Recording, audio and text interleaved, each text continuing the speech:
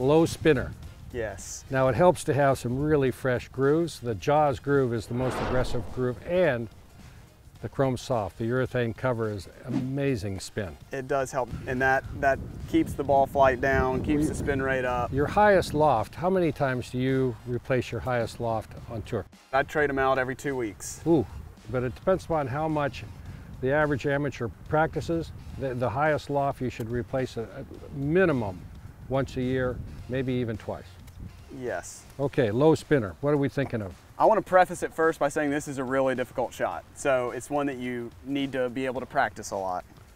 So let's right. talk about your stance. Stance is ball back, open stance, open club face.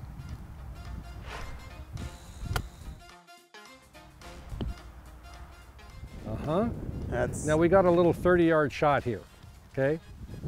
So you don't see a lot of violence there, but he is, has soft hands and he's releasing that club to create loft at the, at the ball and actually hitting it slightly before the ball. But talk about what you do afterwards, right here. Yes, a, a good way to tell you guys at home what I'm doing is I want to keep this club face looking at me at all times. So I cup that left wrist and I make sure the club's pointing back at me all the way through the shot. So what, what you're doing is holding on loft and putting bounce, exposing bounce all the time through that shot Yes. for the sole.